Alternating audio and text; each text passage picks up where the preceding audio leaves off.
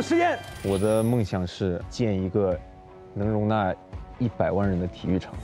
嗯，每个人必须有一款床垫。嗯，每隔一小时，服务员就会送来一车的切糕。他们看完了演唱会，再送他们每人两套房。